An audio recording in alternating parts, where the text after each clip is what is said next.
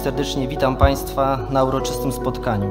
W związku z uroczystością wmurowania aktu erekcyjnego pod budowę Świętokrzyskiego Kampusu Laboratoryjnego Głównego Urzędu Miar, projektu realizowanego wspólnie z Politechniką Świętokrzyską. Ja nie powiem, że mam nadzieję, ale mamy taki zamiar jestem pewny, że to się ziści, że za dwa lata, panie premierze, będziemy zapraszać, aby powtórzyć to wydarzenie, zasadzić może inne drzewo i niech wyrasta nad tym kampusem dla jego dobrej przyszłości, dla dobrej przyszłości polskiej metrologii.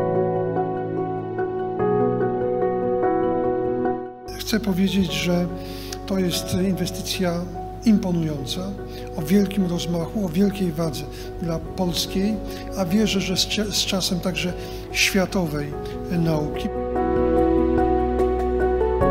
wraz z prezesem Głównego Urzędu Miar pracujemy nad programem ministra, który byłby po to, żeby y, na bazie Kielc, na bazie tego świętokrzyskiego kampusu y, można było rozwijać y, tę dyscyplinę.